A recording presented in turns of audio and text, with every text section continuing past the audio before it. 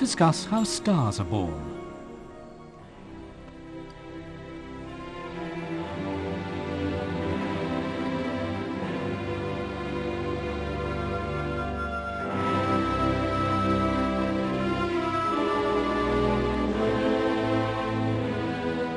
Good evening. Look up into the night sky and you will see at once that the stars are not all alike. Obviously, they differ in brilliancy. They also differ in colour. For example, look at Arcturus in Boötes the herdsman. It's orange. Vega in Lyra is blue. And our sun, of course, is yellow. And the sun's a perfectly ordinary star. These differences in colour indicate differences in surface temperature and also in age. We know that the Earth is about 4.6 thousand million years old, and the Sun must be older than that. But going back in time, how were the Sun and other stars formed? And can we see very young stars? And this is where I'm delighted to welcome back Dr. Chris Kitchin, Director of the University of Hertfordshire Observatory. Welcome back, Chris. Thank you, Patrick. Chris, let's go back to very, very early times. Mm -hmm. Why must stars be born at all? Well, in human terms, stars' lifetimes are immensely long, but they aren't infinite, and stars do come to the ends of their lives, sometimes in very spectacular fashions in supernovae, uh, more often rather more quietly, losing their outer layers to form planetary nebulae, and with the central star collapsing down to form a white dwarf. Now, there are roughly 100,000 million stars in our own Milky Way galaxy and that's been around for about 10,000 million years. So on a very rough calculation, we should need about 10 stars a year to be born. However, some stars, particularly the hotter ones, uh, go through their lives much more rapidly. Uh, the Sun, for example, uh, is now about halfway through its lifetime of some 10,000 million years. But if we look at a star that is, say, 10 times the mass of the Sun, like Alkaid in Ursa Major, that will go through its lifetime in only 100 million years. Uh, we therefore need probably around about 100 stars per year to be born throughout the whole Milky Way galaxy to keep the numbers up to scratch. But there weren't stars being born when the Milky Way galaxy itself came into being? Of course, uh, but any star with a mass like that of the Sun, or more, will have long since gone through its lifetime and disappeared. Only the dull, faint red dwarfs born at the same time as the galaxy will still be around now. And most of the stars we see in the sky have been born more recently. Well, Chris, given the stars are being born, how does it happen? Well, it's the result of a battle. The battle is between gravity and pressure, and it's a battle which pressure has to lose. The interstellar space is not actually a vacuum. It contains around about a million atoms and molecules in each cubic metre. Uh, in some places it can be thicker than that by up to a factor of a thousand and we can sometimes see those regions when they're heated by stars as hot glowing nebulae. Uh, now gravity acts to pull together any pair of atoms and so there's a constant tendency for such nebulae to become even denser and that is opposed by the gas pressure which is trying to push the nebulae out and distribute them throughout the whole of the universe. Now, in the law that we, uh, many of us have learnt in school physics, the perfect gas law, the pressure of a gas is determined by the temperature and by the number of atoms or molecules in each cubic metre. So in regions like the Eagle Nebula, which are hot at 10,000 degrees or more, um, these are too hot already for gravity to cause condensations to, to occur. The equation also tells us that um, the pressure will automatically increase as a cloud collapses. Uh, if a clump of gas halves in size, for example, the gas density, and hence also the pressure, will go up by a factor of 8.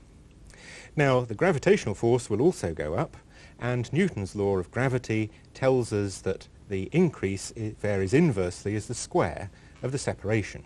So that means when the same clump uh, halves in size, the gravity will increase, but only in this case by a factor of four. So how can gravity ever overcome pressure if the pressure rises more quickly? It needs to keep the temperature as low as possible. The conditions for a clump of material to collapse under its own gravitational field were first worked out by Sir James Jeans. And Jeans' equation is a complex one, And it tells us that for a given temperature and density, there is a certain minimum amount of mass that has to be present in a clump of material before it will collapse. Providing we have more material than that, then it will collapse fairly readily. Then what about our sun? Well, the Sun is actually quite small. And at the typical density of an interstellar gas cloud, which is perhaps a million million atoms in a cubic metre, the temperature would have to fall to just a few degrees above absolute zero before masses the size of the Sun could collapse out directly. And the density would have to rise a million million times further before masses as small as the Earth could uh, condense out. Um, so it seems likely that the clumps which do start collapsing must be considerably more massive than the Sun, and that they fragment into star-sized bits only later on in the process when their density has increased.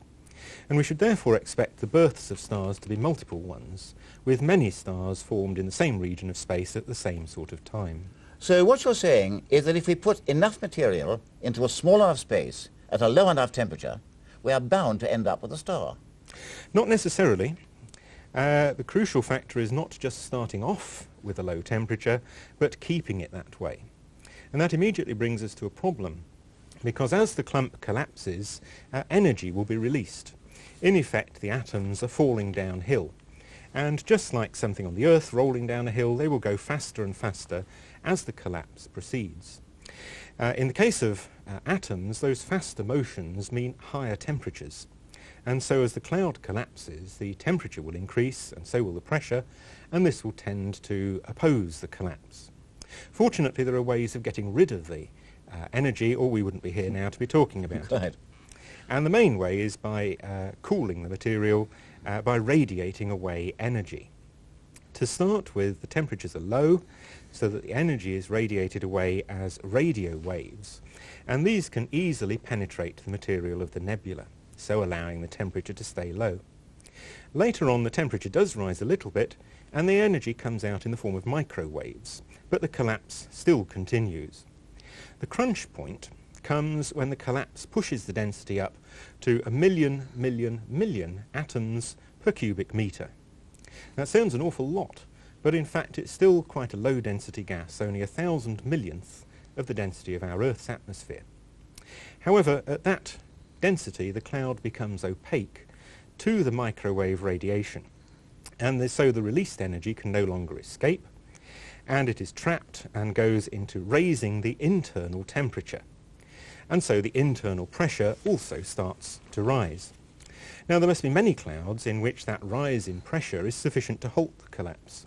And then the cloud, now perhaps only a thousandth of a light year across, will simply sit there, only very, very slowly radiating away the energy as it percolates out from the centre. So in fact, if the pressure rises too fast, the star doesn't form at all. Well, not for a very, very long time indeed. Then what happens to enable a star to form?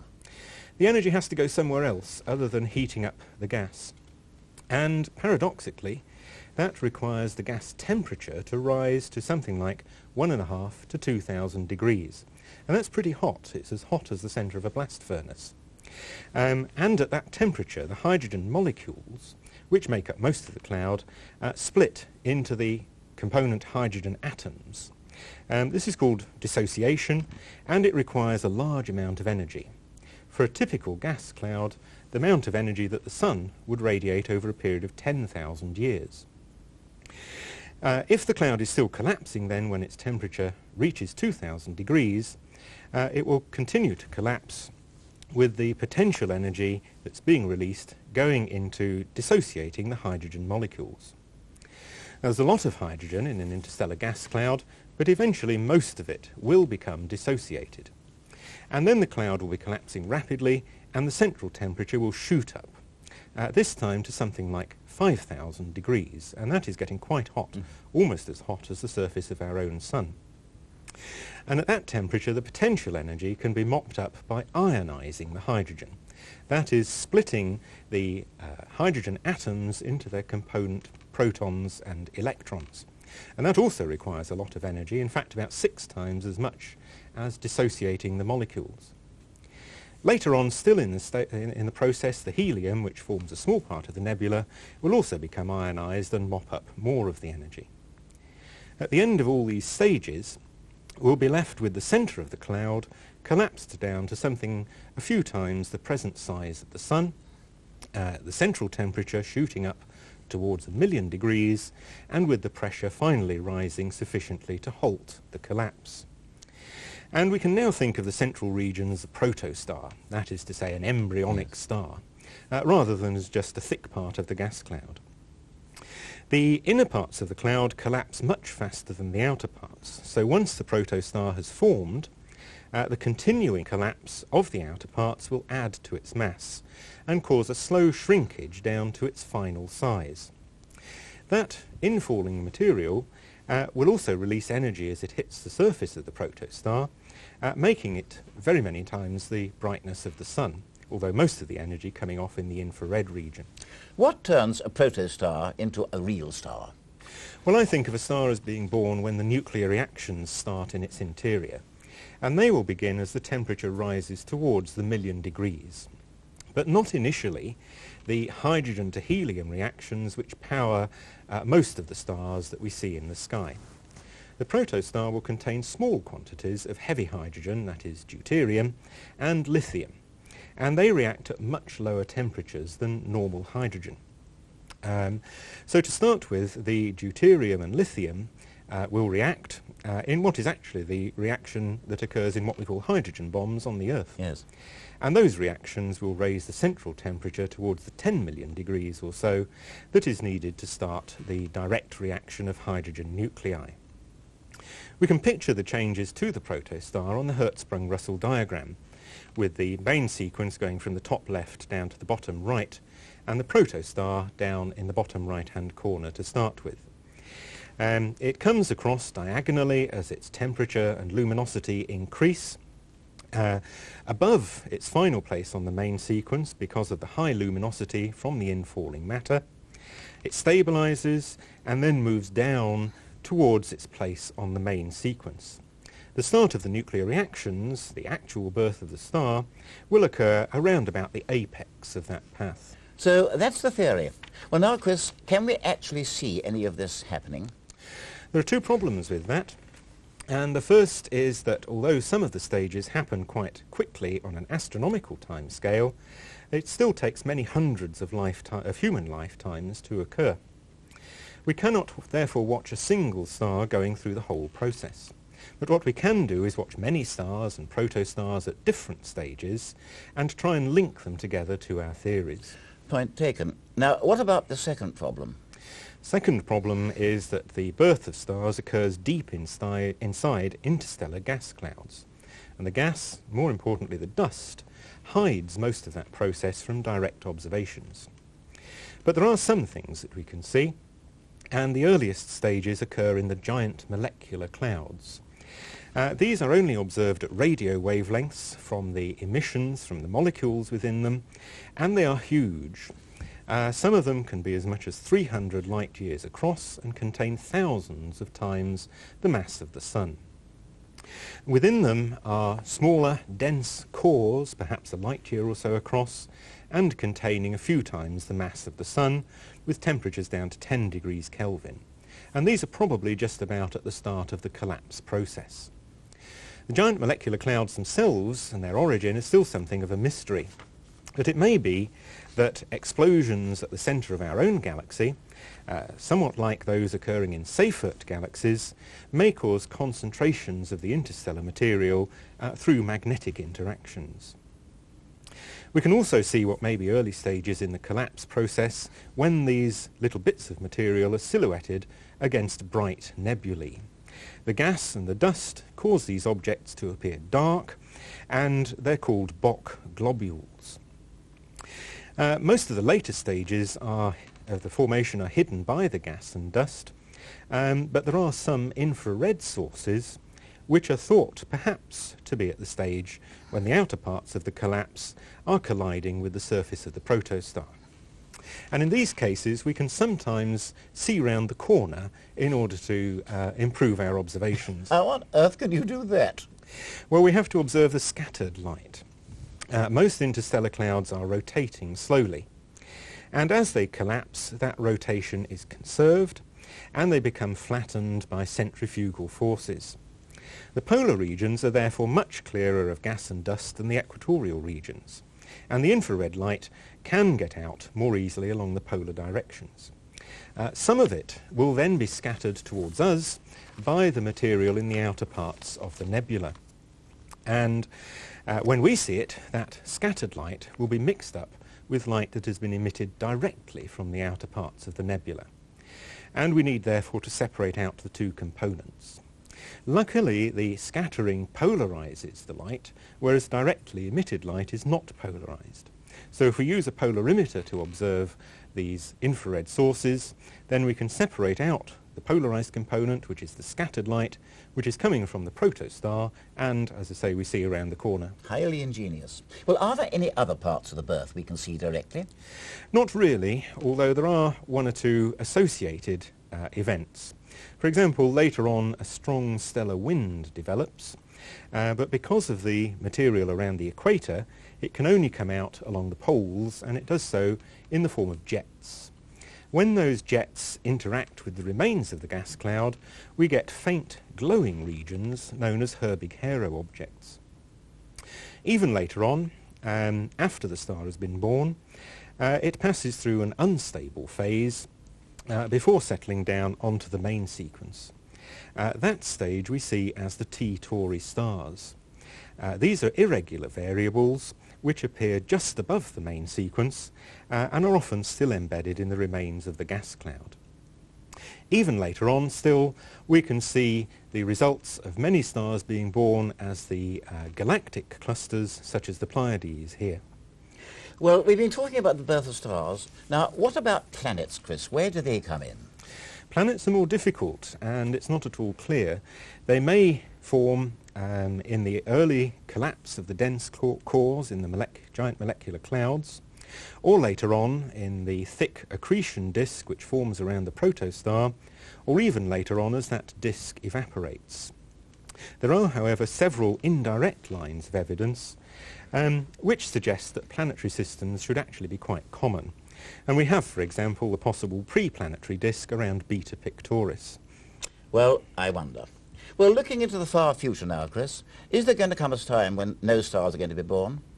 I'm afraid so. Eventually the gas and dust in the galaxy are going to be used up, and then we'll just be left with the existing stars, which will go through their lives and eventually leave the galaxy populated just with their dying embers. That sounds rather extreme, doesn't it? I'm afraid it does, but fortunately it's a long time in the future, something like 10,000 times the present age of the universe, so it's not going to worry us very much. So at least we on Earth have a long time to go. Indeed. Chris, thank you very much. Thank you. So you can see that although we don't claim to know the entire story of the life history of a star, we've come a long way, and we now do have a very good idea of the way in which stars are born. And when you look up into the sky, you realize that all these stars have characteristics of their own, and our sun is a perfectly ordinary star. And like all the others, a long time ago, it too was born inside a nebula in the way we've been discussing. So in our next program, I'll begin to go very much nearer home. At the moment, we're going through a very interesting time. We are going through the plane of Saturn's rings. And so for our next program, we're going to talk about that.